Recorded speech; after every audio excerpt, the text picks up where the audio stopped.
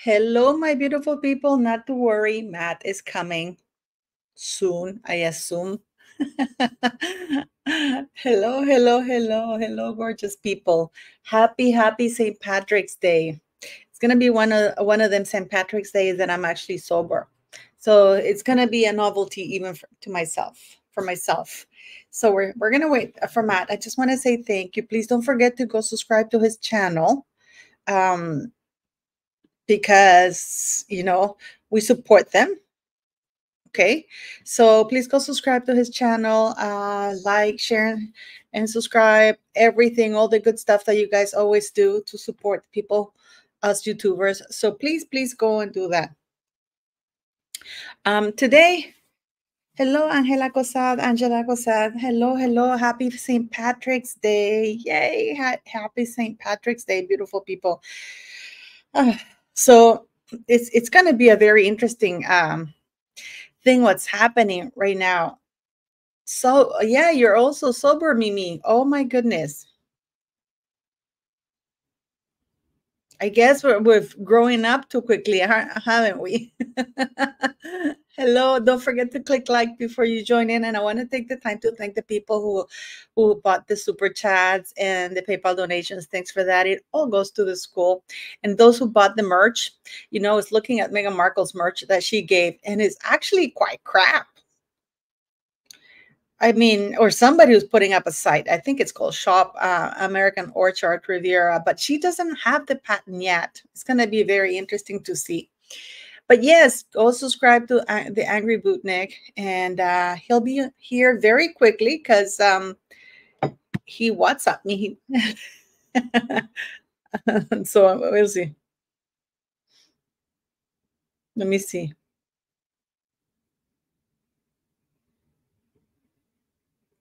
Okay. So, anyways, um, it's an interesting day today because Oprah Winfrey has gone. Uh, Francine Pellerin, hello, beautiful people. All of those of you who are coming in today, thank you very much for joining. Um, thanks for always being here. Um, thanks for following. So yes, don't forget to click the live. Don't forget to go subscribe to Matt's channel um, and everything else. Okay. Um, and then um, it, it's gonna be an interesting live. So as usually with Matt.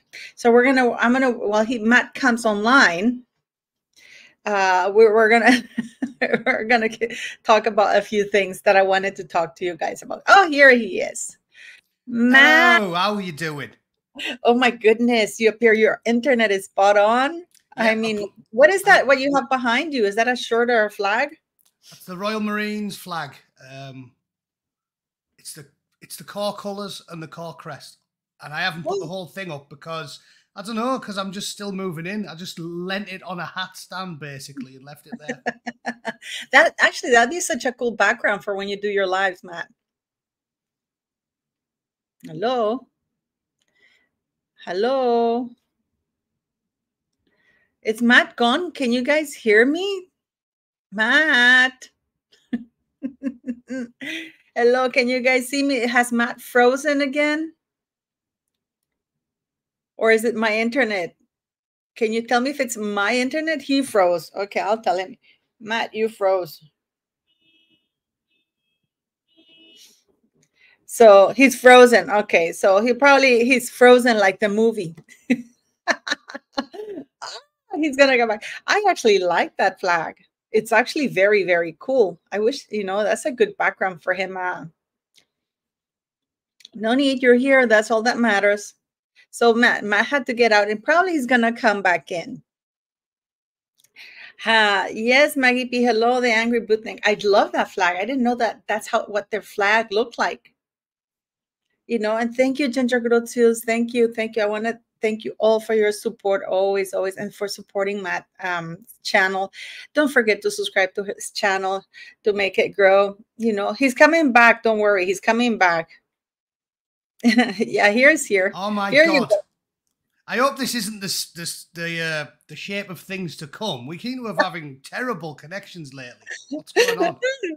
no, I was saying to you that that flag is actually quite pretty, quite beautiful. It is. It's a beautiful flag, the Royal Marines flag. It looks great, and that's the Corps colours, like a navy blue, red, green, and yellow, and then a Corps crest. Um, yeah. Oh, it's navy blue. It looks black. No, it's navy blue. Oh, how beautiful. Oh my goodness, Matt. Well, thanks for being here, Matt. Listen, we're going to, I have, so much questions. I have, uh, I want to ask you a few topics today. And if you have any topics you want to talk about, knock yourself out. Um, but I wanted to ask you, what, what do you make of the Tate brothers? Um, yeah, that's a complicated one, isn't it? Because I think from looking into them a bit more, I think that I was guilty of sort of jumping on the bandwagon. Like, the people that run the world now are so good at manipulating us and lying that you have to really watch what you're doing before you judge people because they quote mine you. You remember me telling you all about quote mining, where they just pick a little bit out of something you said. Um, they did it with Trump today, didn't they? It was all over the Twitter that he said, "Oh, there's going to be a." What did they bath. say? What did they say? All over Twitter today, everyone is going on about hashtag bloodbath because Trump said, "If I don't win, there's going to be a bloodbath." and, and the quote man, that. And the, all the mainstream media, every single one of them, Elon Musk tweeted it with a picture of all them like grey NPCs, like thousands of them, and they're all saying bloodbath, bloodbath, because they're constantly repeating the narrative that Trump's basically threatening people there. He's saying, if you don't vote for me, there's gonna we're gonna cause a bloodbath. But if you watch the two minute the two minute section, he's specifically talking about Joe Biden's letting in so many illegal immigrants. Some of them are gangsters and criminal gang members. And yeah, they are people, the murdered people. So if I don't win, there's going to be a bloodbath. And they've spent the whole day making out as if Trump was saying, if I don't win, my supporters are going to cause a bloodbath. You know what I mean? It's like an outright lie. Oh, I saw Elon Musk saying posting videos it. with the full context. Yeah, said, and the, the, full, full content made Trump look great because they just lie about it. And he's even quite funny. He's not the best speaker in the world, but he is funny. I saw your he, tweet. I saw your ex post. Yeah, because he got to the end of it and he said, The border's wide open. There's going to be a bloodbath. Like the economy's in ruins, crime's up. But apart from that, he's doing a great job. That's what he said. so it was actually a good speech and it made him look funny. So they lied about him. And the point I'm getting to in my roundabout way, as always, is that I fear that that's what they did with the Tate brothers because I did instantly dislike them, thinking they were very like crass and um, you know misogynistic in the way. But then yeah, I because you're a little bit of a liberal, aren't you? Yeah, I am. I am. Yeah. yeah. yeah. I'm young. I'm, I'm younger than you. Your, your, generation are a bit more sensible than mine. I'm technically like a millennial or Gen X, I guess. But um, no, no, no. I know, I know, but it's just I can imagine people are put off by this because they're very alpha male. Those two. Yeah. Right. Uh, but but from listening to them, I don't think they're as bad as they made them out to be. Another really good example of this is probably someone you're not aware of because it's specific to English politics. But there's a guy called Tommy Robinson, and he's very he was destroyed by the media for years. They called him a racist and a bigot and a Nazi and a fascist and all that stuff. And then I watched an hour long lecture he gave at the Oxford Students' Union, and at the end of it, I was like, everything they told me is a lie. Like, he's not a bad person. He told you the story, and he's like, my sister got, like, my cousin got sexually assaulted by a load of Pakistani men. And I was talking about specifically about the grooming gangs that everybody in the working class communities knew was happening. And I wasn't saying everybody who's from Pakistan or India is a bad person. And I wasn't saying that at all. And they just paint him out that way because they lied to us constantly. So when I listen to Andrew Tate in long form on Twitter, he's not that unreasonable. He is very cynical, like a lot of young men are, because they've brainwashed a generation to hate old values, traditional values. And because of that, it's created this generation that is very, very cynical. Uh, I was very cynical until I met my missus. Um, she sort of changed me for the better because I was cynical. Like I've talked about this. I've talked about this before. You know, I'm not proud of it, but but when I joined the, when I joined the military, I, I was very cynical.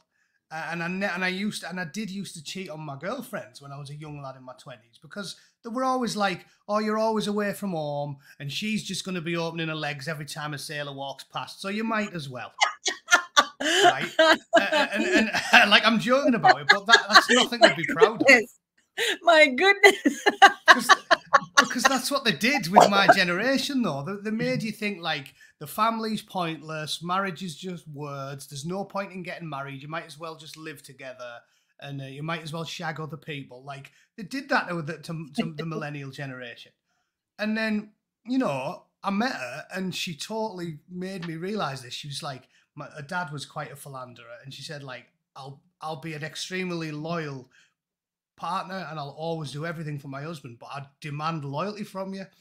And when she spelled it out to me in such like black and white terms, I really bought into it. And you know, since then, it's it's I'm a confident, chatty fella, so I, I get uh, flirted with quite often. You know, I'm not gonna fa- I'm not gonna practice false modesty and think tell you that I think I'm an ugly bastard because I'm not. Um, and and and it's been quite hard. Like occasionally, some really attractive, much younger woman will bat her eyelids at me, and I have to force myself because my plums will be like, "This will be a good idea," and I have to force myself to go, "No, that's it isn't," because I have empathy with my missus, and we sort of made a promise there, so I'll live by it. Uh, and this is what's missing from the generation. It, it's that cynicism of a proper old-fashioned relationship. So Andrew Tate is a symptom of that generation who's being told it's just words. There's no point. You can just live with someone and have a load of kids, and who cares about anything traditional? Uh, so I don't agree with the entirety of his message, but I don't think he hates women, and I don't think he's a rank. Oh God, no! Oh God, no! He, he's just giving hard advice to cynical men and saying the courts favour women. They do seem to. The, the the women can manipulate you and get all of your wealth off you if they divorce you, even if they're at fault, and they can. Like there's elements of that that should be addressed. Like to me, I've always said my my me and my missus have talked about this. My my opinion on how divorce should work. It, it, I can synthesize it with you know I swear a lot, so I don't need to mind my p's and q's. My my ideology is if you fuck up, you fuck off. That's how I think it should work. So I think yeah. if you, if you catch your wife shagging the milkman, then she shouldn't be allowed to get half your shit. But at the same time, if you're the one who's philandering, then she should be allowed half your shit. I think there should be like rules to divorce. So it's like if you if you're the one that's provably the the bad uh, actor in the relationship, you do get stitched up by the courts. I think that'd be much fairer. But because of the way the system works, like there's Fathers for Justice in the UK, have done a lot of campaigning saying how like men get mistreated by the courts when they try and get access to the children if they have a yeah. divorce. And and Andrew Tate is is a you know, a figurehead for that generation, cynical men who've had bad relationships and have been, you know, abused. Yeah, also, you know, because I think he was responded because let's not forget, okay, you I think you know a little bit about my history. I my ex-husband used to beat the crap out of me. Like, I mean, I ended in the mm-hmm. hospital with broken arms, legs, my my head, I have 14 stitches here on my head. I so basically, I would not advocate for any fucking asshole who beats women, a wife beater or a woman beater. However, believe it or not, guess what I hate more? I hate women who falsely accuse a, a husband of beating just to get money or just to get sympathy or whatever. That I feel offended. I, I want to punch them when I like, for mm. example, that thing with Amber Heard. Yeah. You know, I was like, no, and people are still going on about it, and I'm like, no she's an abusive person because she gives people like me it makes it even more it makes it harder yeah. for us you know or when a woman falsely claims rape yeah. like these women with andrew tate you know they, they have come out and said but the, for some reason the Ukraine the is it which Romania where is the where that where he's in he's Romania in, he's in Romania yeah but he is the Romanian government has held him without without charging him for months on end. They have uh, interviewed all of his stuff, and they still the women that they're trying to accuse him of, the women have said no, he didn't. You know, we're not. Know. So well, they're basically. The same thing with Tommy Robinson. The the law yeah. is an ass. The law does what the powerful tell it to, and the idea that it's you know she, Lady Justice wears a blindfold and rules without fear nor favor is nonsense.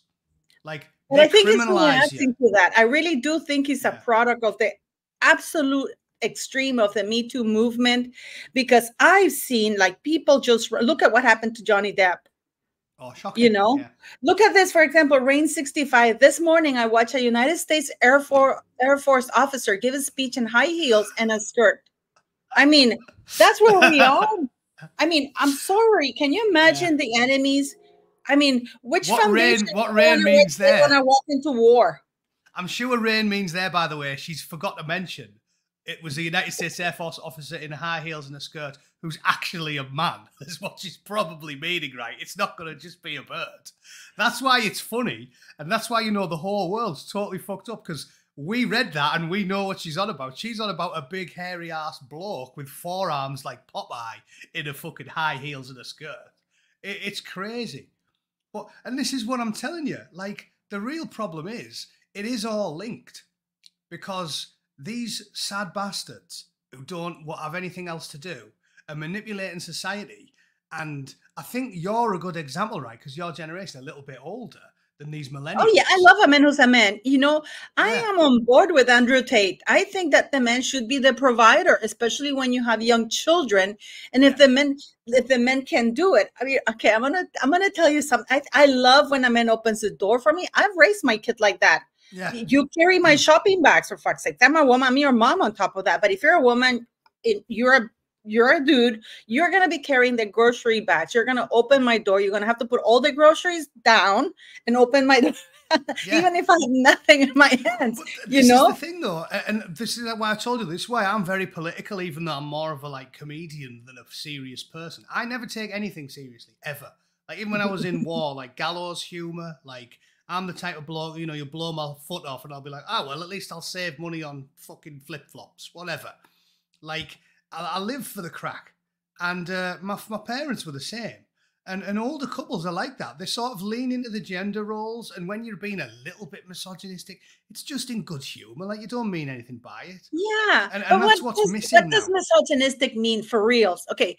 If we go by the real definition, it doesn't apply nowadays. Never, never. You never hate women. This is what I'm saying. Like, some people hate women, but they're vanishingly rare. Me, I'll get called a misogynist all day long because I'm an old fashioned bloke and I joke with my wife about traditional gender roles. So occasionally I'll be like, put the kettle on and slap her ass or something. And it's a joke. like, she laughs about it and then she makes me a cup of tea because she knows I'll go out to work and I always pay for everything and and she cleans up more than I do. I'm a bit of a messy bastard because like I'm a bloke. Like men and women have a different brain. We have different se- sense of humors. We have different uh, sensibilities. And these lunatics act. Not if you're Dylan Mulvaney. Fuck off. No, no, no. Which one is that pervert that we used to talk about, Matt? Which one is that pervert on TikTok that we used to talk about? No, Dylan, oh, oh no. You're on about Jeffrey, uh, Jeffrey fucking, what's his name? The one with the teeth.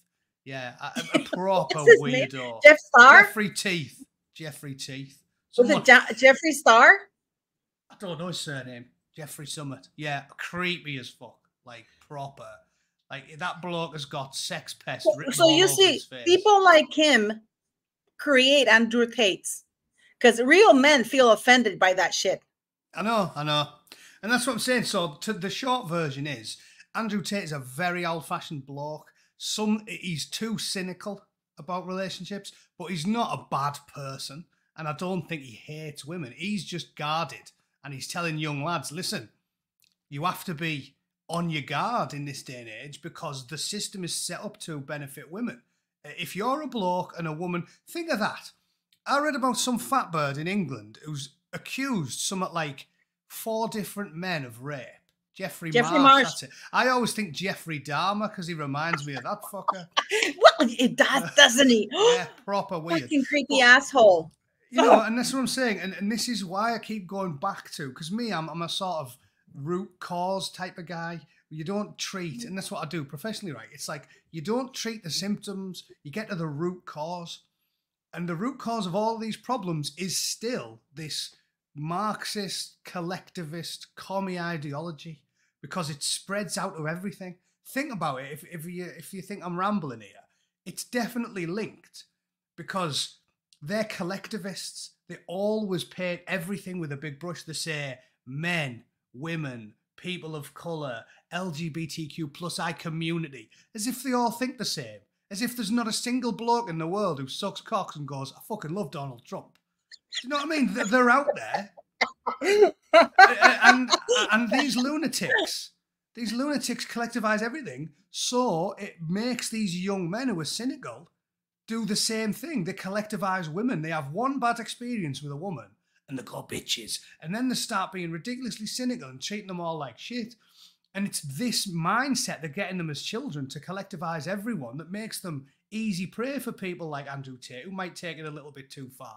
Like you're yeah, but an Andrew example. Tate, you know what? You know what? Matter, wait, sorry, but Andrew Tate also advocates and tells men, be a man, take care of your woman. You know, y- y- y- why is your woman paying for this? If I'm taking out a woman, I am taking out a woman. You know, Yeah. you're not a man when you're when you allow your woman to pay for you. That means you're not man. I mean, I love the way he's he calls out men too. It's Yeah, like, what is this shit about me, uh, my woman paying for for for half? You know. Like, cause I just see, I just saw Merca say, my husband wants me to pay for everything. Get a new husband. yeah, yeah, yeah. I would. What a sad bastard. And that's the thing. Like, you know, it's it's a trade off. I'm happy to pay for everything because my missus is a good egg and she cooks for me and she cleans up and she's fucking sound. So you, you do your part. But this is what I'm saying. You can tell the difference between the generations, right? Oh Your yeah. gener- your generation is more um, immunized against collectivism because you're not all commie fucks. And when you got beat up by your ex-husband, you didn't go, "Oh, therefore all men are scum." Oh no, no, no! I know You he went, wasn't. no, no, it's that one guy, right? Yes, that's what I'm saying. But because of this, the root cause is the commie ideology. Because now a young man gets fucked over by a woman, and he's like, "All right, all women are bitches," and it's like, they, "No, No, they no, no, aren't. no, no. Oh, I no. knew he was the asshole. I knew he was the asshole. Yeah, I mean, there was. just- I'm not gonna because I know there's decent men everywhere. I Yeah. mean, it's. I don't know if it's my generation, Matt, but I also think it's just common sense. But it seems that this generation they don't have any common sense because they're easily led down a path by mainstream media. And mainstream media, they have. I really. I'm not. I'm not into. I hate when I call it conspiracy theories, but because this these things were called They're before reasonings, they were called musings, they were called wondering Yeah. things that were, you know, but now it's a conspiracy theory. Yeah. If you dare question the mainstream narrative, if you question the mainstream narrative, you're a conspiracy theorist. No, and we know why, don't we? going on here? And as I said, I know I always hate the word. Like I was like, I'm not a conspiracy theorist, but that's them. It's because the CIA come up with these words, and as soon as you start getting close to the truth, they go conspiracy theorist to try and rubbish you. But now I'm in the ripe old age of 44. I'm like, holy shit, you can't keep calling them conspiracy theorists when they're right about everything all the time. Uh, and, and that's what I'm saying. So I ignore the word. Generally, they're right. Uh, and this, I mean, is another good example, like the, of the dozens we've seen in the last few years. They say it's a right wing conspiracy theory that the teachers are indoctrinating kids, right? And this is what I'm saying about this collectivism. This generation's all fucked up and they're all mentally ill and they're all depressed and suicidal and anxious and they don't trust women and the women don't trust the men. It's on purpose. There was a story yesterday. I'm going to make my next video about this because it astounded me, right? The story on The Independent yesterday that said one in four Gen Z are LGBTQ. One in four. And I was like, they definitely aren't. So don't tell me it's a it's a right wing conspiracy. Like actual numbers, you just know by common sense. Everyone knows someone who's gay. I play uh, games with a gay bloke who's married to a man. I've got a couple of friends who are gay. Common sense tells me roughly it's probably about one in every like 25 people, maybe. Like you're just born that way and you're gay. It's the way you are. The idea that one in four people are gay is ludicrous. And now these young kids are all identifying as LG. One in four LGBT now. They aren't. They're being brainwashed. They've told them, force yourself to get into cock and you'll be cool and you'll be different. Everybody will think you it's trendy. They've made it fashionable. Uh, and these, no wonder they're depressed. Because let me tell you, as a straight man who, who is into women, nothing would depress me more than having to suck another man's balls every morning before I went to work. So now you know what we have to put up with. yeah. so like of course they're depressed.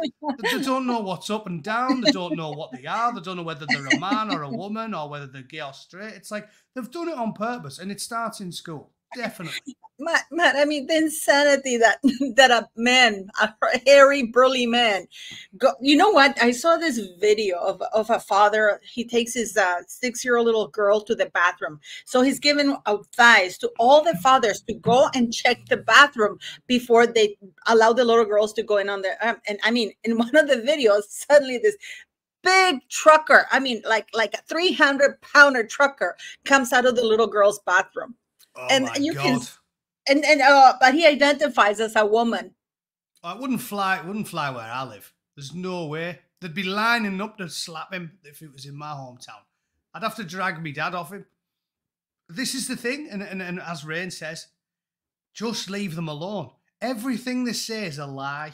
And, and this is why I got all political when I'm more of a comedy minded type of chap. I like to joke about everything, but they force you to get political because they ram it down your throat constantly. Sometimes in this day and age, they physically ram it down your throat, if you know what I mean. but like, the, they are ramming it down your throat. The, the, the, the reason they managed to sell this one is because they've said if we don't tell kids, little kids, all about gays and lesbians and all this, then they'll grow up to hate them. And I was like, hang on, we know that's not true because we didn't get taught that and we don't hate them. I was not taught about sex until I was about 12. I think the common sense, you know, back when the world was sane in the early 90s, the common sense approach was you talk to kids about sex when they roughly get to the age of puberty because before that they don't care have any interest in sex and stuff. So they leave it until you're about 12.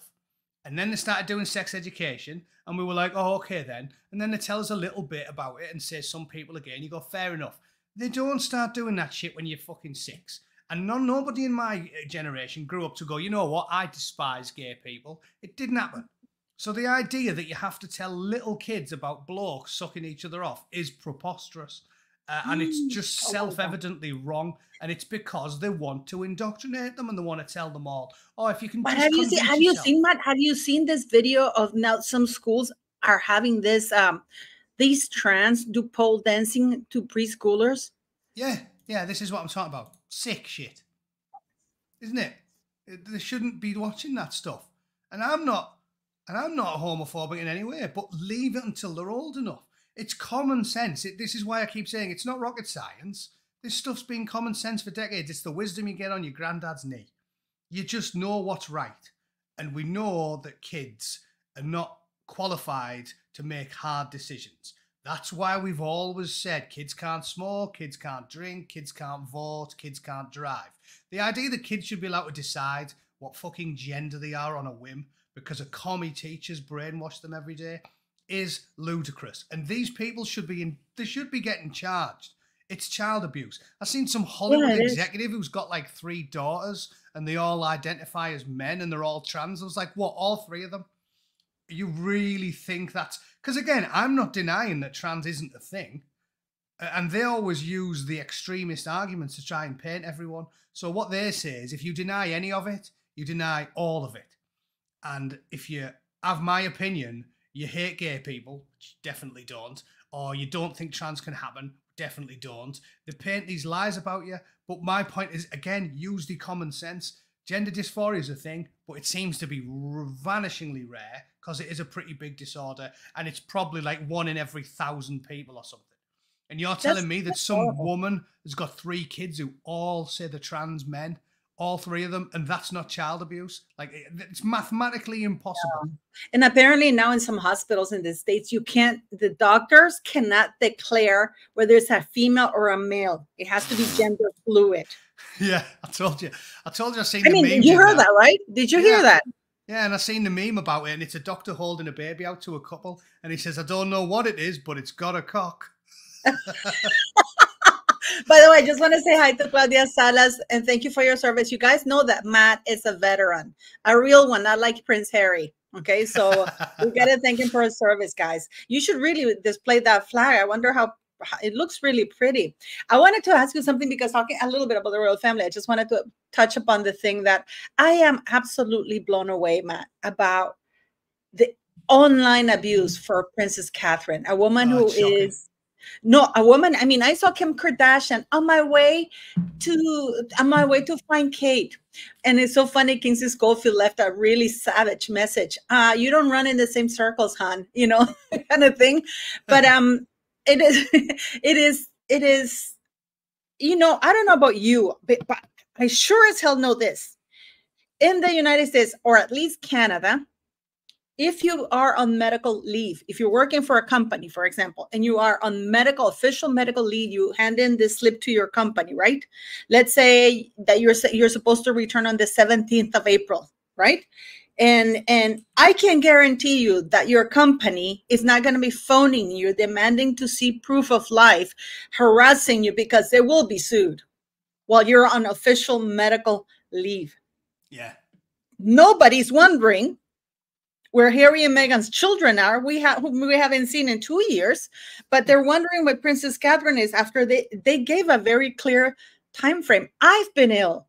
And I remember I, I, was on leave for almost six months after the last beating my ex-husband gave me. You know what I mean? Because mm-hmm. my leg broke and stuff like that. And and I was supposed to return at a certain date, but he beat me up again. And so I had to prolong because I ended up at the hospital. So so my my lead got extended. So I, but why do you find that is so shocking? Why, why are they so brutally going against her? Well, because as I said, there's a war going on. It's it's an unnamed one, but it, there's a war going on. Look how much fellow Americans despise each other now. There's a war going on. They just haven't named it. Your average right wing Republican in America is more despised by the woke left in the United States, by the fellow countrymen than they have for like foreigners. Like, think about that. A Democrat walkist in America feels like he's got more in common with a, a Pakistani hate preacher than like someone from his own country. There's a war going on, and there's sides in a war. And when you, and when you're on their side, you're on the side for everything. And when you're against them, you're against them for everything. And this is just more hypocrisy from these people because whenever we say something that's self evidently true, they'll go, oh, that's a ludicrous conspiracy theory. But when it's against their enemy, like Kate, because they've decided they despise the royal family because they're commies and they always have done, then it's fine to spread conspiracy theories, isn't it? It's not just fine, they'll promote it in the mainstream media. They can say whatever they want. So, what I'm saying is, it's just blatant in your face hypocrisy and it's obvious, and it's because there's a war on. And if you're on their side, they'll support you, and they'll ignore everything you do that's bad, and they'll and they'll support you through thick and thin, and they'll promote your lies, and they'll smear and hide the truth. And then when you're not on their side, they'll do the exact opposite. It's like it's obvious. It's blatantly obvious. And that's all that. It's double standards because they're against who they perceive. How do you think she would feel? Do you? I mean, that's horrible. I mean, that that's a lady at the end of the day with three children. She probably has some serious stuff going on health wise.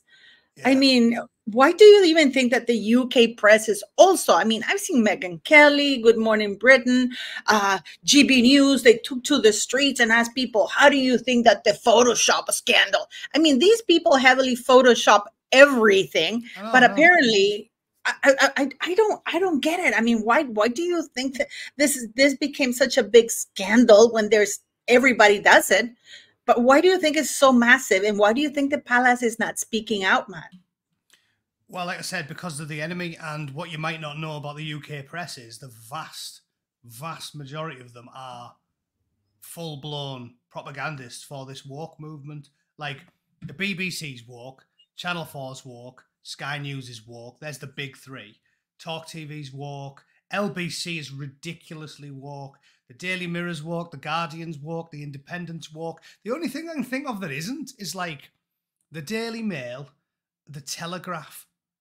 They're the only two that aren't like full blown propagandists. So because they're they're they're basically the the media the truth the media of truth for the the in this culture war that's going on, and they've been told they've been pointed at the enemy, and that's what I'm saying. If Meghan Markle wants to Photoshop an image, then they'll help them spread it and they'll help them cover it up. But if Kate wants to Photoshop an image, then they'll say she's a lying, devious, manipulative slut bucket and there's something devious going on. It's just two sides of a culture war, it's all it is. And I don't think it's that complicated, is it? If Meghan Markle does it, it's fine. If Kate oh, does oh, yeah. it, it's awful. Oh, how dare can you imagine if Meghan Markle had gone on sick leave like this? Yeah, we know. we know she's hidden other things about the children, man. You know, yeah. and and nobody's questioning uh, or demanding to see the test the, the signatures of the doctors who deliver any of those children which yeah. should actually be pretty it's actually required for those children to be in the line of succession because it has constitutional consequences.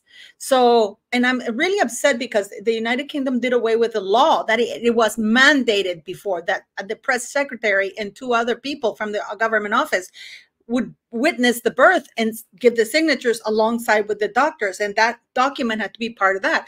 But they got did away with that before prince charles was born so princess elizabeth wouldn't you know be humiliated. But it was done with the understanding that they would honor that tradition and they would present the test you know the the, the, the doctors testifying with their signatures that they gave birth to the children.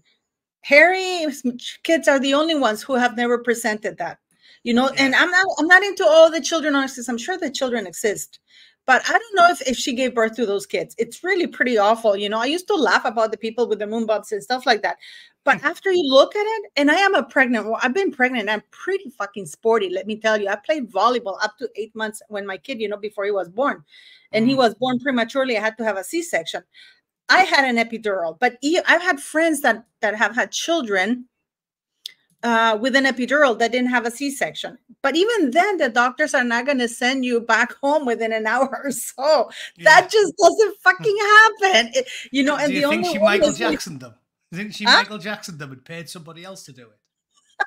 Probably. no, I think right? she had a surrogate. I think she used a surrogate, which is fine. But the fact that if she did that, if they did that and they lied about it, they committed fraud against the United Kingdom. That's really the See, end of it. I'm I'm more judgmental on that than you are then on that issue because I don't think it's fine me.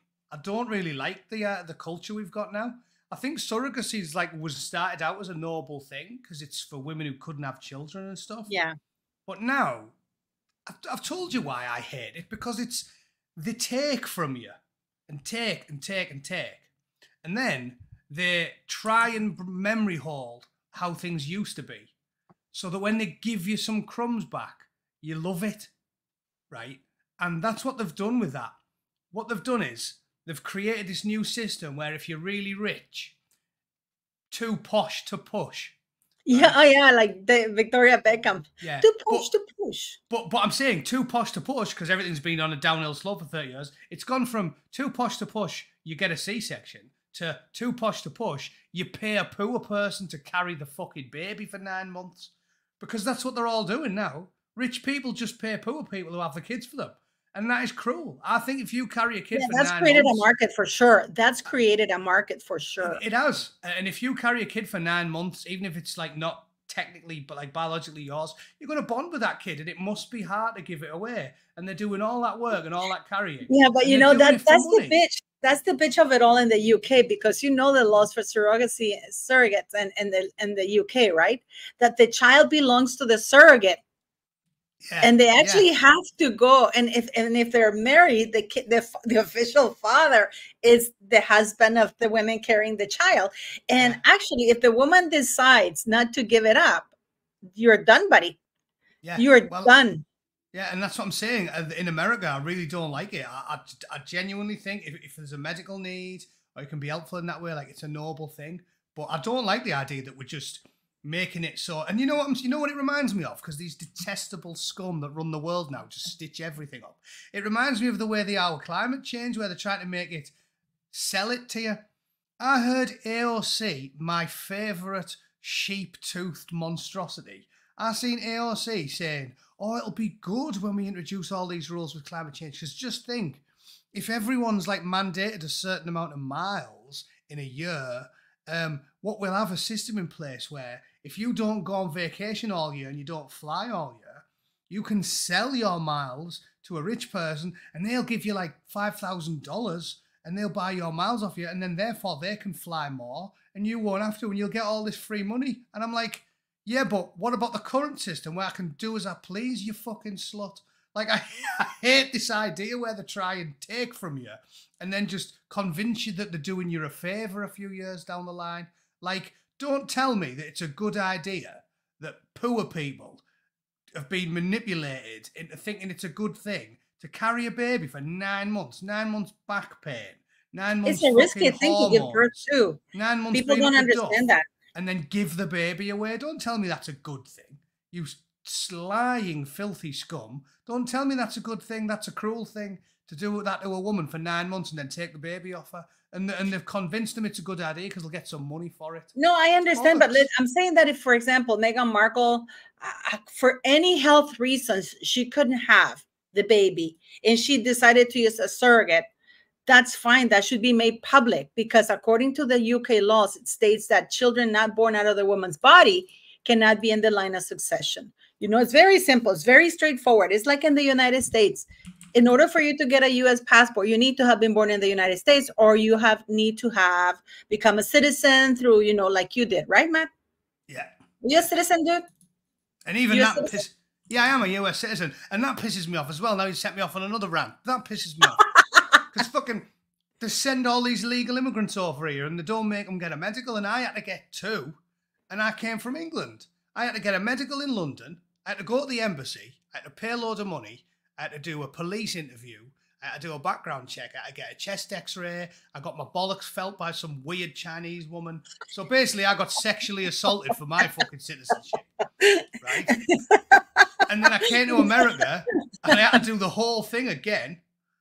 And then they're just letting them in for the illegals, just walk in, and they've got TB and polio and fucking all sorts. And they get an instant credit because in New York they get credit cards now, whereas poor legal resident immigrants, they probably if they apply they can get a credit they, card. But they, if you're an illegal lie. immigrant, yeah, probably from the Mara 13, yeah, you know that uh, and, this, and, and, then, and then I read today, they're, uh, I seen today on Twitter, they're going, oh, there's been a rise in like weird tropical diseases and all this. And it's like, it's because of the anti vax movement. I'm like, no, it's because you've let in hundreds of thousands of ridiculous blokes from foreign countries with diseases and you haven't medically checked. Seriously, think of this, right?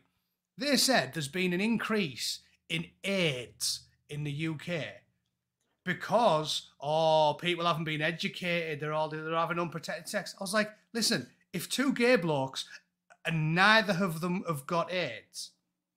They can shag each other senseless all week long and neither of them will get aids. That's how aids works right? We let in a million blokes from africa who didn't get any medical fucking checks and then when aids goes up they go oh you know whose fault this is? Vaccine hesitant. it's like, no, My it's because you let loads of promiscuous men in with AIDS. And now they're doing the same. I come from a country which immunizes me against tuberculosis as a teenager. And yet they made me get two chest x rays, one in London and one in America, for TB. And they're making me do swabs and feeling me plums and putting things up my ass. That's really uncomfortable. right. Uh, but, but if you're a fucking third world migrant, that, you know what's so funny, Matt? That this illegal immigrants they would cry rape or being abused if anybody did the things things that sexual assault you went through you know just yeah. to be yeah. that's what i tell people. I say i got fingered for my fucking green card. At least do that to them. Oh god how gross. It's like it does my head in. enjoy it. As i said you, you just have to laugh. You just have to laugh but it's shocking. To have higher standards for migrants from rich Western countries and have zero standards at all for people from the poorest places in the world is fucking ludicrous. And it's the same in England. My missus, American, wanted to get a visa for the UK and it was a nightmare. She had to pay loads of money, do loads of medicals, do all. I was like, oh yeah, but if she was a hairy ass 20 year old bloke from Eritrea, she can just fucking walk straight in. It's preposterous. And here's your credit card. It's preposterous. Capital One. it's preposterous. On the on the face of it, it's ludicrous. It really is the maddest thing ever. It's it's literally like um, having a background check for the the janitor who's going to mop your floor, but then not having a background check for the bloke who's going to look after your children. It's self-evidently ludicrous. Taking fighting age men from the worst places in the world and not subscript putting them through any selection process, but then making a 19 year old Canadian girl with a college degree go through all these hoops is fucking ridiculous. How many 19 year old college girls from Canada have gang raped children or blew themselves up at a pop concert? Zero. But we'll do background checks for them. But when some hairy ass bloke from Somalia rocks up with a fucking machete in the back of a van, we just go, come along, mate. There's the shopping mall. Here's a credit card. It's the it's lunacy. Everything we do, and this is what I'm saying, it must be by design, because nobody is this stupid. Nobody is this stupid. It's not it, an old adage that I always liked in my twenties when I was young and foolish was that you should never subscribe anything to malice which can be easily explained by incompetence. And I used to like that line because it stopped me from That's getting all bitter and cool. twisted. Yeah. And I used to like that line because it kept me getting bitter and twisted. I was like, eh, the government aren't evil. They're just thick. They're just stupid. Now I'm 44. I'm like, eh, they're fucking evil. because there's no way. yeah, you know, no that's way. the thing. Yeah. People try to excuse certain things people try to excuse certain things you know we went mm. from clinton don't ask don't tell to now the admiral or whatever wearing like like, yeah. like fucking high heels with that yeah. g-string and, and and all kinds of it's actually and what do you make of these invictus games matt because you're a bloke you know that birmingham is planning on bidding for invictus games 26 million pounds for an organization that's just grifting while Birmingham is uh, is is is basically bankrupt. I mean, I think I think Birmingham's the most diverse city in the UK, and it's an absolute sewer. And again, this is the thing what you have to keep pointing out because they smear you're right? Everyone sensible knows that the reason these people cause a problem is because of education. I, made this point on my live stream yesterday. Really, really poor people in sink estates in the northeast of England, because it's the poorest region of the UK, are a pain up the arse because the poor and the dragged up, and mo- loads of them are criminal, antisocial, hooligans, yobbos, pissheads, like all that stuff.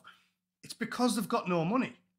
And then we import, when we say we don't want to import fighting age men from Somalia they say, oh, it's because you don't like brown people. It's like, no, it's because very badly educated fighting age men, the high testosterone, the high energy, they're more likely to be criminals. If you were saying, let's import 10,000 university educated women from Toronto, we wouldn't be worried about it. But you have to be worried about fighting age men, regardless of where they even come from. If you said to me, we're going to bring over 10,000 fighting age men from a council estate in Glasgow, I'd say, no, you fucking aren't, because that's a terrible idea. They make it about race and ethnicity and religion to smear normal working class people, but it's logical to be cynical about these things. But why are they giving? Why are they bidding millions to Harry's organization that's proven to be a grift? And why aren't the veterans speaking out? This is this guy called Johnny John Mercer. It's not I, Mercer, I, is it? Oh, I hate Johnny Mercer. Hate yeah, that's him. him. He He's was drinking with. He was drinking with. um with uh, with Harry uh, last year in Dusseldorf for his birthday. He was having beers with him, and he's insisting that he's trying to compete so that Birmingham can bid can can compete with other cities, so they can have Invictus Games um, back in the UK. And Harry's coming back in May. Uh, from they have hired uh, the crypt at St Paul's Cathedral I don't yeah. even know why Harry keeps coming back to the UK, you know, when he's not wanted. He's not but wanted. I guess it's for publicity. But it's, I mean, and this guy's there with him and he's satisfied with the security arrangements they've made for him and his wife. It's all corruption and lies, isn't it? There'll be some bollocks reasoning behind it. Like, uh, I, I would assume it's to get the money and then spend it on whatever shit they want. It won't be. They're not going to spend that 26 million on like vital improvements for the area. They'll just trouser it all, won't they? Anywhere there's money involved, there's corruption and lies, especially with the scum that rule the world nowadays. So they're putting in for it because they want to trouser the money, aren't they? 26 million quid. They'll go, yep, cheers, we'll have that. And then they'll, they'll stuck it in their ass pocket and bugger off back to California or something. It's just corruption. Uh, same as everything. As soon as government money's involved, there's corruption in there. And these people are just scum. Like, of course, Birmingham is an absolute shithole. And we keep giving bidding. them money and it keeps disappearing. Johnny Mercer says that they're, they're going to bid at least 26 million pounds to have Invictus Games come over. Out of that, they will create an Invictus Games uh, from the Birmingham, and they're going to have like 26 board of directors, each making about a million. Um, and yeah, and it just, and I'm sure some of that money goes to Harry. And I, I wonder if it's the royal family or the government finding a way to give money to Harry to keep him going because you've seen what happened with the judge and the immigration documents with him. I really yeah. do. Um, you know what? I know you're a cynic, and I know you said that Harry can come over and have you over your kitchen counter and have his way with you, and and we can watch it live, and nothing will happen to him. Yeah. But I have a feeling. I have a feeling that this is not. This is the year of accountability, not the year of redemption, like Megan said it would be, because the the judge is not dismissing the thing, and he wants to see the papers. I mean, what do you think is going to happen for reals, Matt? Okay. Nothing. I'm standing by it. Nothing. But the only something's only going to happen when you get real root and stem reform when they dig it out. Like you, you, as I said, I think you'll only get action after things get much much worse. Maybe another five years we'll get a Labour government. Um, to- you need total societal collapse before people do anything about it because everyone's too comfortable. As long as the internet still works, they've still got Netflix, and everyone's got a full belly, they'll let them do whatever they want. There's nothing's going to happen to him. I guarantee. Nothing will happen to him. The system. Well, they used to say that about Harvey Weinstein and Jeffrey Epstein, and look, they're the sacrificial lambs, aren't they? The people like Harvey Weinstein and Jeffrey Epstein. Only when you, you get truly so? pure evil, uh, who's done the most horrific things, then they throw them out there and they advertise it loudly and they talk about it all the time and they put it on all the mainstream media. Think about it. Why is it when they lie, the mainstream media cover up for them? But with Epstein, all of a sudden they'll tell you. It's because they're sacrificial lambs, so everybody thinks that, oh, look at that, the system works. The system doesn't work. If the system worked, Hillary Clinton and about 50 other big high ranking American politicians would be sat in Guantanamo Bay now. The system doesn't work, and Harry can do whatever he likes. It'll keep getting worse. Eventually, you'll get wholesale collapse, and then you might get a bunch of veterans actually take over the government in some sort of coup, like Starship Troopers or something, and then you'll get accountability. But until that day happens, nothing will happen to them. Harry can steal what he wants, go as he pleases. They were like, ooh, they're asking questions about his immigration status. Bollocks. Bollocks. They're not going to take his immigration status. But he can do as he pleases because he's a insufferably smug ginger twat. There's nothing that happened to uh, Prince Harry. That's my uh, angry opinion for you. Yeah. You know, yeah, no, no, that you're right. You know, I, I did a video and I said they're not talented, they're privileged, which is different.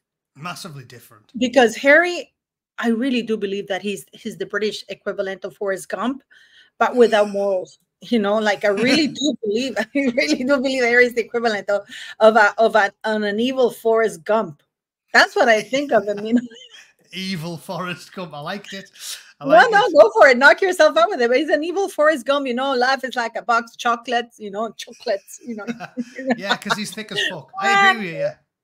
I agree with you. Because he's a moron. I really do think that Harry I don't even know why he hasn't been declared retarded. I really do think that the royal family interfere there. You know, I don't think he needs to meet the minimum IQ to tell you the truth. You know. Yeah. Oh, I told there's no way that there's no way in God's green earth that have allowed him to be a pilot if he wasn't a royal because he's a plank.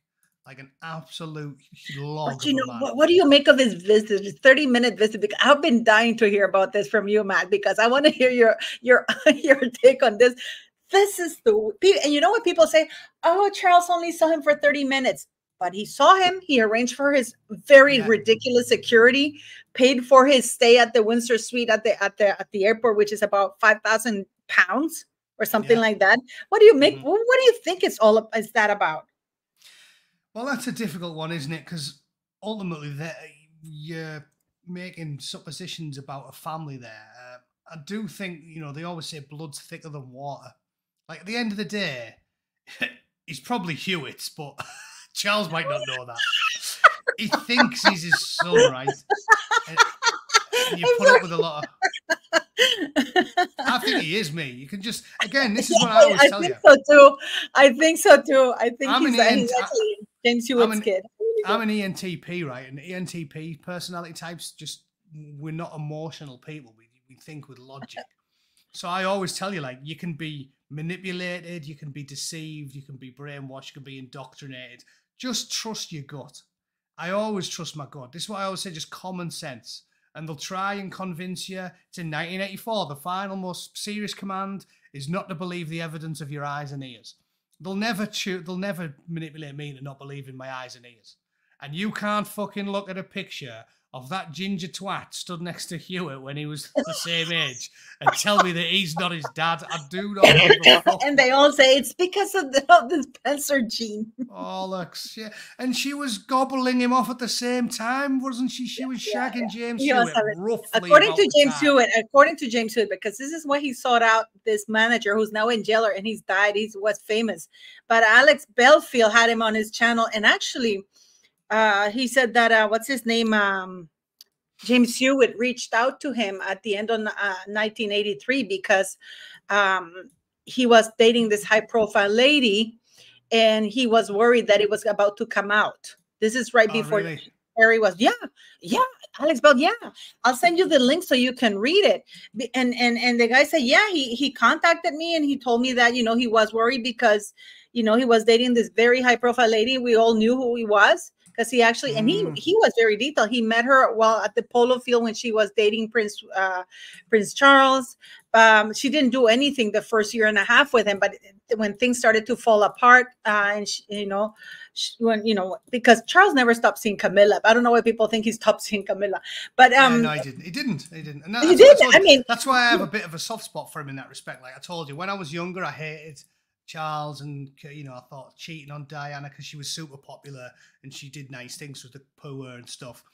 But as I grew older, as I told you, I got, I got more mellow about it because you realise that they essentially did a arranged marriage and they were trying to force like 19th century values onto like 21st century people basically or 20th century people.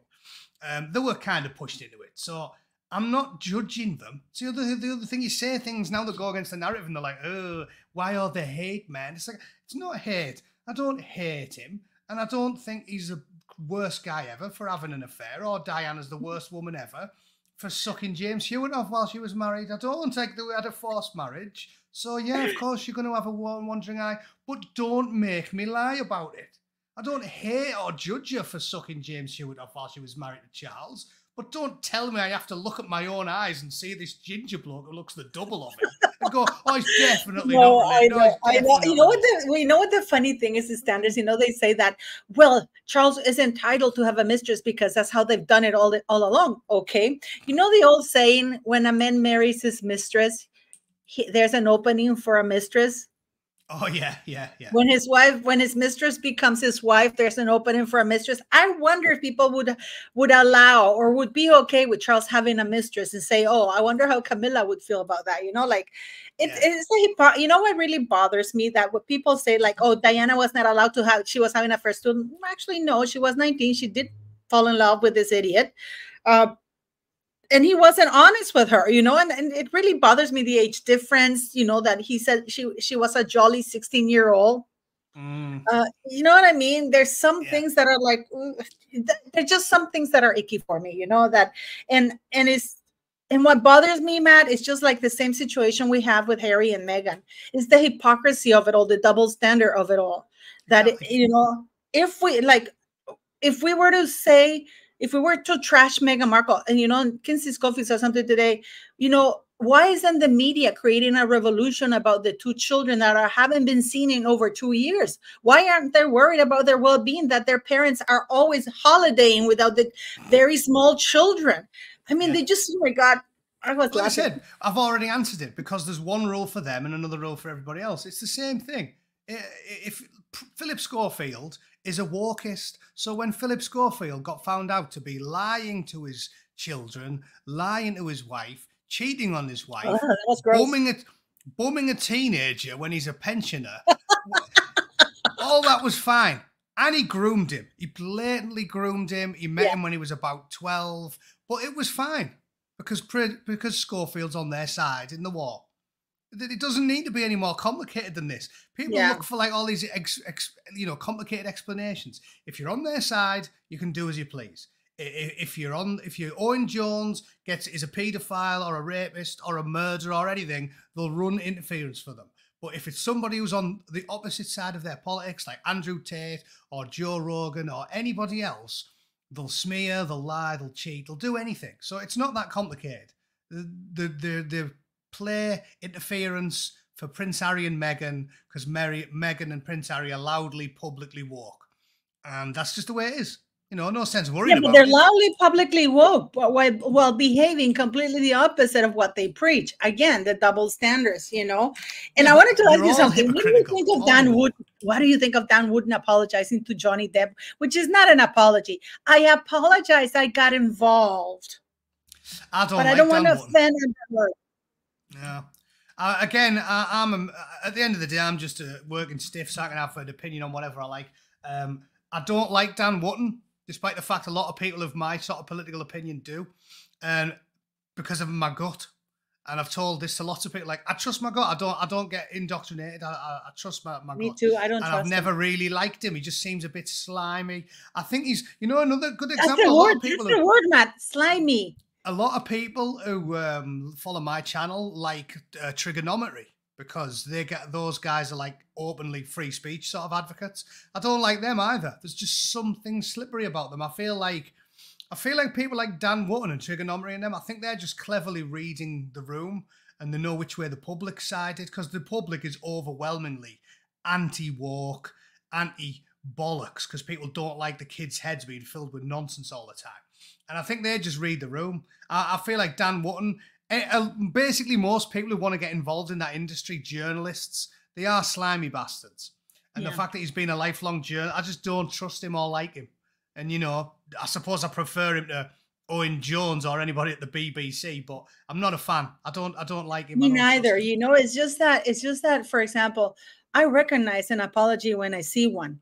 That's not an apology because no, he said uh, he's because he wrote it not once, and then when he went on Megyn Kelly, he said, "Well, that wasn't me writing the the the, the headline, and it was just a headline, and know, it was you, you mother. I thought, you know, like you doubled down when uh, you. I mean, I started pulling all the articles that he wrote. He's a wife beater, and then he doubled down again. Well, well, what's his name? Um, Johnny Depp was going to trial. And you know, one, one of the funniest things he said that, well, Amber Heard didn't want to go to trial. So it's Johnny Depp's doing. Of course, Amber Heard would not want to go to trial because she knew she was lying. Yeah.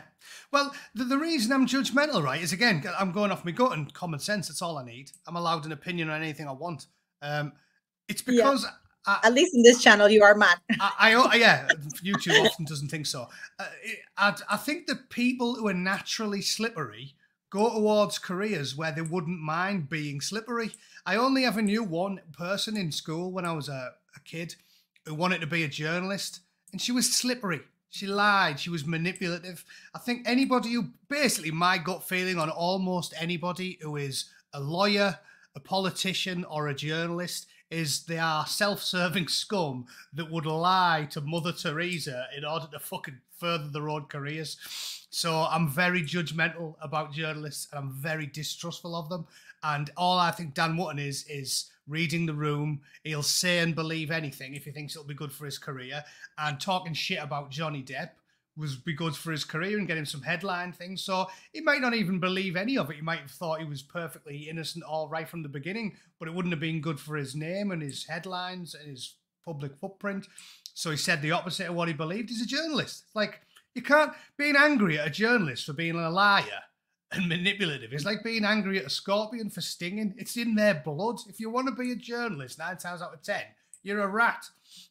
That's just the way they are. Like I don't I don't see why that has to be particularly complicated either. Journalists, like lawyers or politicians. Oh, You're good at lying. That's the job you want to do, isn't it? But I don't. I know you have another life to go to. You have another life to go to, right? No, no, not today. But I do have to. Oh, okay, okay. Uh, because I thought, okay, but I wanted to ask you about Trump. What do you think is happening with this thing? Do you think that, because I mean, okay, you were right about Hunter Biden. Nothing's happened to him. Yeah. Bollocks. I, I mean, I am shocked that this guy, and I don't understand why the American people are not angrier about this. But, uh, but no, I'm serious because I don't understand it. You know why they're uh, why aren't they calling and why this guy is so entitled when he walks into Congress and they're questioning him. Then he walks out when he didn't like the question. And and here we have Trump. How many lawsuits does he have? Like twenty or eighty something? Or Like he has like it's like ninety two lawsuits or some shit like that that he's got. Again, it's almost like we're just uh, we're talking about the same issue like ten times over. Like because it's all linked. It's he's not on their side in the war, is he? So they'll hold him to a different standard. It is, on the face of it, truly preposterous that Trump has got all these lawsuits against him. When you read some of the shit American political leaders have done over the years, even Nixon, who got yeah. caught red handed, didn't get treated the same way as Trump has. The coward of Chappaquiddick, Ted Kennedy, left a young woman to die. To die, remember? Nothing happened to him. Nothing happened to him. The, the, we've got the wor- Hillary Clinton, the worst type of scum. Christopher Hitchens wrote a big book all about the Clintons. Like they are worms, and none of them get prosecuted, but Trump does. Like I said, I can answer these questions super quickly and easily because it's the same answer for all of them. If you're on their side, you can do as you please. And if you're not on their side, they will find some fake, trumped up charges to prosecute you for. It's bollocks. on the face of it, it's bollocks. Do you think he's going to win if he, if he's allowed to run or if he makes it alive there? No, I think they'll cheat and I think they'll rig the election again. You think, oh, yeah. but if they do, I think there will be a civil war this time. I really do think because I don't think people are going to put up with it in the United States. This they is clearly cheated last time. They clearly cheated last time. I know, but people were not. Oh, remember, you couldn't even say that because. Uh, you weren't allowed to say it. That my YouTube got shut down for two weeks because I all I did was read a Time magazine article where they were crowing about cheating. There was an actual because they couldn't help they couldn't help but crow about it. So there was a Time magazine article talking about it. I'll have to find you it. I said I'd find you it last time. I think. Yeah, yeah. It's still out there. They wrote a big long article because they couldn't help but gloat, and it was all like. Here's all the people behind the scenes who helped us mobilize a broad coalition to stop Trump. It was an article admitting they cheated. And I read the article out on my YouTube channel and they banned me for two weeks, deleted the yeah. video, and shadow banned my account. It's never recovered from it. Um, Isn't that amazing though? Isn't that insane? I know, I know. Uh, like I said, uh, this isn't. I don't practice self false modesty, as I've told you. I don't believe that my channel that I'm as ignorant and unfunny enough that my You're channel should be as small as it is. I see myself when I watch you there's 99% of people who, who are on the, the, platform who've got much bigger channels because YouTube promote and amplify their voices, and people like us that get demo, demonetized and they don't advertise your voice. It's all linked, and the reason they're so arrogant and think they can get away with it is because they always controlled Silicon Valley, all the radio stations, all the TV networks, all the printed media. The New York Times is woke, the Washington Post is woke, CNN's woke, MSNBC's woke. YouTube's woke, Facebook's woke. Thank God for Elon Musk. There's one outlier now, but there never used to be. Last election, and he has total, money, which is worse. He's one coverage. of their club, right? He's one of the elite elite club, and I think is he the wealthiest man on earth at the moment, or no? he's it's he's either the wealthiest or, or almost because it fluctuates up and down. When you've got that much money, you're at the whims of the markets. So, we're depending on the time of year, there's Bernard Renault, whatever he's called, the guy from France who's the other super rich. Yeah, yeah, yeah, they are. Yeah, Depending yeah. on the time of year, he's either first or second, but they're, they're both shockingly wealthy. Um, and yeah. like, like so I said, he really before, doesn't give a fuck. He really, yeah. literally does not. He he actually can buy freedom of expression. Yeah, but he's the only one who can. But anyway, what I'm saying is, back then they even had Twitter. So of course, you always ask me like, "Oh, why do they think they can get away with it?" And I'm like, "Well, they can because they control everything." 1984, read it. It's like if you control the narrative, you control the world. And when you've got all the printed media, all the big magazines, Time, National Geographic, New York Times, Washington Post, CNN, MSNBC, Twitter, Facebook, Google, when you control all of it, you can do as you please. And that's why I still think they'll cheat. I think they cheated last time and nothing happened. They'll cheat again this time. I'm convinced of it. And I think it'll be even more blatant because I reckon Joe Biden's done such a bad job. I think if they left it to the polls, he'd probably lose by about 20 million votes. So I think they'll cheat again and it'll be even more blatant than last time. That's what I think is going to happen. How much do you think he lost by the last time? couple of hundred thousand. I think last time they played it smart because the, the narrative the media has always reported is because, like I said, I know way too much about American politics, right? The short version is you don't need that many cheating votes to win in America because the way the system works with the electoral college and the districting, all you need to do is drop three or 300,000 votes in 10 or 11 vital swing areas and you'll rig the election easily. Donald Trump beat Hillary Clinton by 70,000 votes. That's it. If you really look into it, that's how he beat Hillary Clinton. It was 70,000 votes. It was, I think it was less. I think it was 66,000 votes. It was basically 20,000 votes here, 15,000 votes there, 20,000 votes. It was literally went down to like four swing states. And, the, and it allows the media to push this narrative constantly where they say, oh, um, there is no evidence of widespread evidence manipulation, right? And technically, it's true, and that's the ingenious thing you do. You mix it. Well, that's what they say. There's no evidence. So basically, widespread, and this is what I'm saying. That is true because it doesn't need to be widespread. All you need is 200,000 votes in five swing states, and you win the election. So when they're saying, "Oh, there's no evidence of widespread," Google it. It's always prefaced by the word widespread because that's the bit that's the truth. There is no evidence of widespread because that's like what's widespread. You could be like, oh, there isn't evidence of cheating in every single state, therefore there isn't widespread evidence of cheating. But there is evidence of bags of votes getting dropped off in just the right areas, in just the right swing states. And when they empty the bag of votes in the highly contested election, which common sense demands, what? probably you'd expect the average. If you just grabbed a bin liner of votes and just ditched them on the table and counted them, it'd be like 60 40, right? Or 70 30. Like if you're in yeah. a liberal area of California, empty the bag out, you'd expect it to be like 70% Biden, 30% Trump. If you're in a right wing area you have Alabama, you empty the bag you'd expect it to be like 75% Trump, 25% Biden. But when they cheated and dropped off those bags of votes in like Philadelphia or wherever the fuck it was, they counted them and they said, oh yeah, 97% of the votes were for Biden. And I was like, oh, really? And you expect me to believe that's legitimate? Really? 97% of the votes in a bag were all for one guy. And you're telling me that's not electoral ma- manipulation? It's physically impossible. There's no way you'd ever have an election and one person gets 97% of the votes. But that's what happened and, there. And what do you think? What do you think? Okay. Yeah, because I saw the video of the of the I remember but okay, I wanted to ask you something did you think that the election was stolen at the beginning or did you think that was just a conspiracy theory that trump was being bitter and did no, you come around afterwards conspiracy theory this is what i'm telling you you've got to believe your eyes and ears uh, just like you asked me about andrew tate it's the same answer because i'm a reasonable person and i follow the evidence when they initially said biden won i believe biden had won because i'm not rash and I was like, okay, everyone's bombarding me with all this information, telling me he definitely won. I guess he won.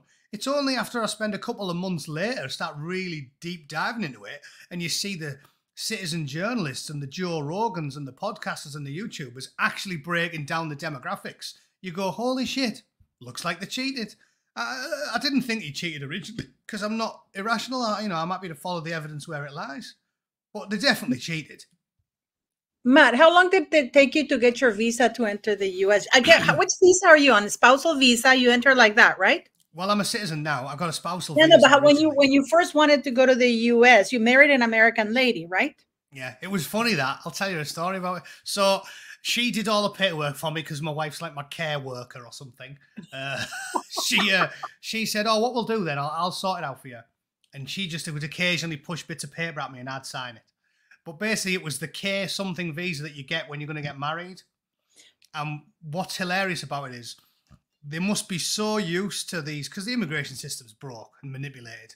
They must be yeah. so used to all these random swarthy foreigners just involving themselves in sham marriages that they sort of seem to expect it from you. And I was actually marrying a woman who I'd lived with in England for like six years or however long. Like we've been together for 10, lived together for like six. And she's like, "We'll just get married. It'll make it easier to." to I was like, "Fair enough." I goes to Dublin. I was flying from Dublin because that's where you get on the plane. And this American, because the Americans have their own special proper section in Dublin yeah. Airport, and, and that's why I went from Dublin rather than Heathrow. And I goes in there and they take me into this side room and I'm there with my suit on, you know. And then he starts questioning me about my marriage. And the bloke definitely treated me like I was like an Eritrean asylum seeker who just got involved in a sham marriage with like a, a Russo American t- mail order bride or something. And he took me in this back room and he was like, Right, if you get there and she doesn't turn up, you get yourself back to the American embassy. Like I'll give her the address. If you th- if you think there's anything suspect going on, she doesn't show up for the wedding. All this stuff was good. You have to get yourself back to the UK as fast as possible. He probably started like berating me, and I was like, "Shit, I feel like I'm an Eritrean asylum seeker." Like he probably didn't think it oh was real the marriage we are getting. And this is what I'm saying. This is the hoops to make you go through. So it was probably like a year's worth of paperwork and 10 trips to the post office. And then I had to go to the US embassy in London and I did a, a, medical and an exam and I had a long talk with an immigration official. And then I had to send them all the documents the police sent me saying I didn't have a criminal record. And then when all that was done, then I got to the airport, get the lecture off the officer who thought I was a Somalian pirate trying to con an American woman into marrying me. And then I got to America, we got married. And then after we got married, that's when you apply for the different visa and we send a shitload of paperwork off again and pay a load of money again. And then that was done. And then three years later, my missus, as usual, because she's squared away, is like, oh, now you can qualify for the actual citizenship. And then we went through the long process of that. And then I had to do all the same shit again. And I had to do an exam that proves that I know all about America. Uh, and then I had to go to a big swearing in ceremony in a big building in LA. And Donald Trump came up on a video and was like, You're an American now. Fuck your old country. And uh, and then I swore it in. did they really put? Did you have to reset the Constitution? Yeah, yeah, yeah. Of course I did. Yeah, and then they give you a little American flag, and uh, yeah, that's that. This is what your vicar says. Interesting that Harry could just go into the U.S. from Canada because it is actually quite a lengthy process. Um, exactly. Even after do what married, Yeah. How many months was it? Like a year, pretty much, yeah, or something? Oh yeah. It, it is going to be very interesting. You know, it's still. I wanted to ask you something. Did you see Candace Owens thing about about Brigitte Macron? Yeah, yeah, and there's some funny memes came out about that. Did you see that one about? It showed Macron like his wife crouching down next to him, and someone had superimposed a cock in between her legs under I mean, skirt. I've like, seen videos now. They they have because they have these videos when she was a teacher. He she, but uh, and she looks like a man. I mean, what do you think yeah. of that? Because Candace Owens actually, you know what? I've actually gone after I heard her video I saw her video. I actually went online looking for pictures. I mean, she could easily debunk that. Just present her brother. Their husband is literally gone, ex husband, you know? And then you have like all these. I mean, no pictures of her when she was a kid. Not even one. I mean, I have pictures of my grandmother who passed away in 1978.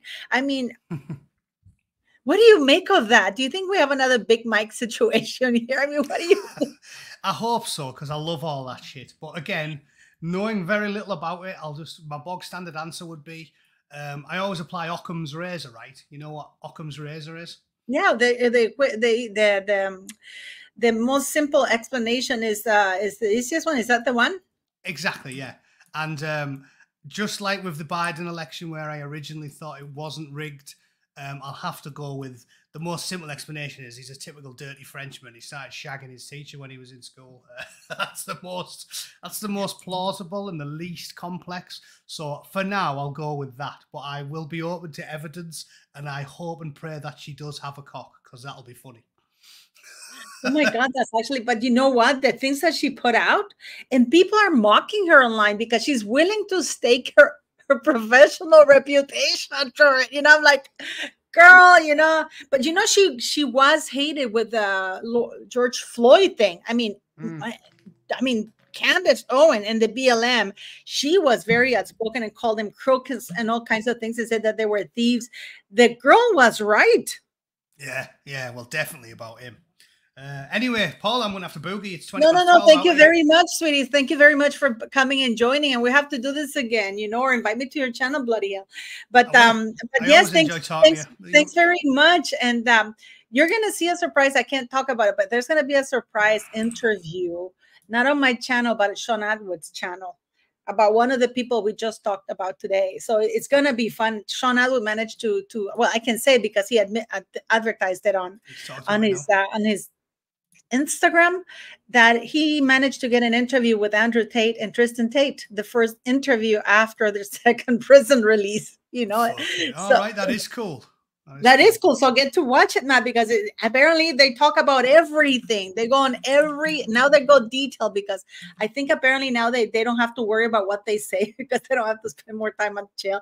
But thanks for uh, being here and, and and I can't wait to see you again because we love you. You know I'm a big fan of you.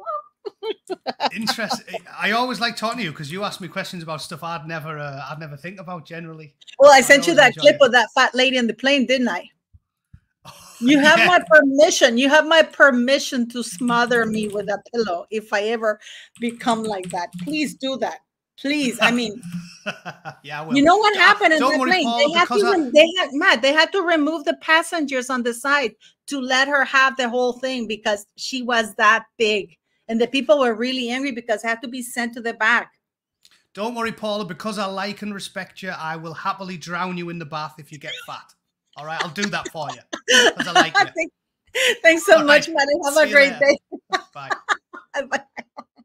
Okay, guys, go subscribe to Matt the Angry Bootneck. He's uh, I love his channel. I'm actually a huge fan of his. Clearly, you can see that. Okay, and I can talk now about um Sean Atwood having Andrew Tate and Tristan Tate on his channel next week. So you guys just go and look at that because expect that it's going to be huge. And go subscribe to Matt, the Angry bootneck, and his channel because he has been shadow banned massively. Okay, so please follow him, show him some love, and subscribe. It's free. And watch his uh, watch. You know, I never get notified about his his videos, even though I am I have the little bell to be notified. I have to be like stalking him, like Meghan Markle stalks everybody to see if I can catch a live. Okay, so thank you very much for coming, guys, and have a wonderful Sunday. And I'll see you tomorrow with another video.